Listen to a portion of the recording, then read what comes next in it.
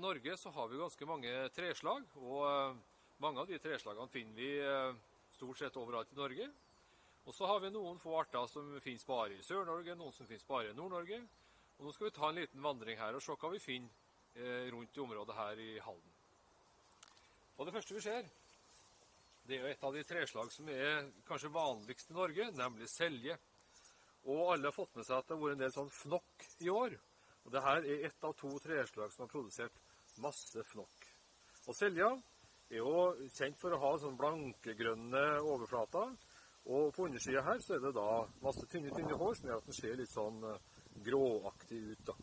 Og på bakken her så finner vi også det som da har produsert det disse fnokkene, nemlig raklene. Går vi litt lenger bort, så får vi nye treslag. Og eh, treslag som eh, alle har et forhold til, særlig rundt jul, nemlig hassel. Hassel er jo, som, en, som du ser her, en stor, fin busk og har eh, masse hår på bladskaftet. Og har jo da, som vi kjenner herre, hasselnøtteren. som smaker veldig godt. Og den kan du dyrke sjøl og, og, spise også her i Norge. Vi har et treslag som eh, kommer litt ifra oven her. Og det er den store, flotte ostba som, eh, som rasler litt i bladene. Og på latin så heter den tremula, som betyr nettopp å skjelve. Den lager så lyd når den skjelver. Og Den har uh, nesten runde blad. Kanskje vi finner et blad her med noen små tagger på. Og har også vært en av de som har produsert masse fnokk nå i våres. Lenger bort så har vi et, uh, et vesentlig mer skal vi kalle det, sjeldent treslag. Og uh, det har jo vært veldig viktig i forbindelse med skipsbygging og store, flotte båter. Og litt eksklusivt treverk, og det er nemlig eik. Og eika er ikke så vanlig i Norge.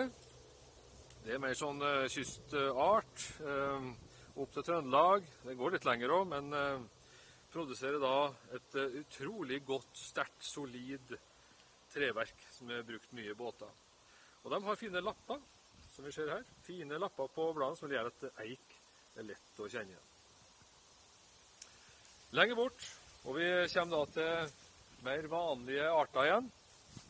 Og vi har kanskje et av Norges aller vanligste treslag, nemlig bjørk. Den deler vi i tre forskjellige arter. Og Her er den som er vanlig i lavlandet, og den har vorter på årsskuddene. og Det betyr at det her er en hengebjørk. Mens den som er på fjellet, og som alle fjellskogene består av, det er dunbjørk, eller vanlig bjørk. Da. Og aller siste er den bitte, bitte lille oppe på fjellet, dvergbjørk. De har rakla, og i disse raklene Eh, produseres det enorme mengder med frø.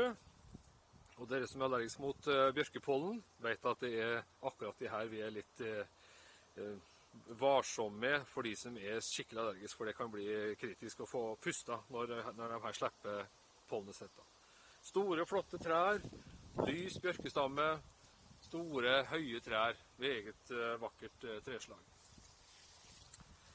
Ellers så bortover her har vi jo da mer selje her. Vi har stor, flott selje der. Og så kommer vi til et uh, treslag som er viktig for fugl, nemlig rogna. Nå står den her litt sånn kua innimellom de andre artene her, så den får ikke den plasten den skal ha. Men uh, rogn tilhører rosefamilien og produserer da rognebær. Smaker litt bittert, men fuglene er veldig glad til det. Lenger bort her kommer vi til et treslag som også er litt sånn hva skal vi si, litt unnselig. Her har vi da trollhegg. Ser ut som om noen har nesten lakkert eh, bladverket.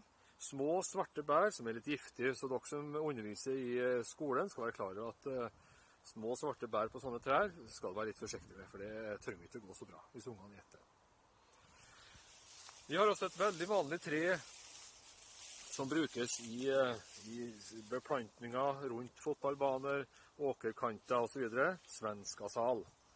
Det er en innplanta art, og lett å kjenne fordi at den ligner litt på ligner litt på rogna, men at her har bladene nesten sånn vokser sammen. Og så er det noen små fliker, den samme familie. Og produserer også en store mengder med flotte røde bær som fuglene også er veldig glad i. Et artig treslag, særlig her på Remmen er nå. da. Ja, mer ost her, rogn her. Ost her står det litt av eik inneklemt. Ny rogn her, litt inneklemt. Ospa står i kanten her. Og etter hvert som det blir tørrere, så kommer da nåletrærne inn. Og da må vi litt inn i skogen her for å få tak i de.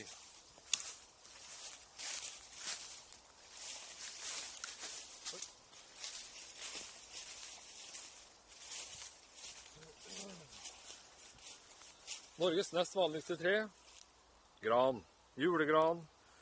Et eh, veldig ålreit treslag. Og har da én nål per, eh, per voksepunkt, mens furua har to, som vi skal se på etterpå. Og grana er kanskje det kommersielt viktigste treslaget vi har. Vekk sånn tålig fuktig, men blir det for tørt, ja da må vi over til furua, som står oppå her.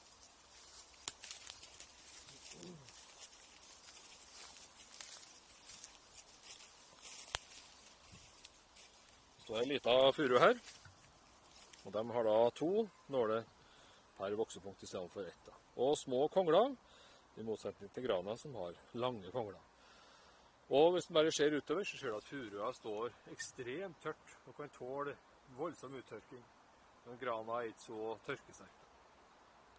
Det var en kort intro om litt trær i Norge.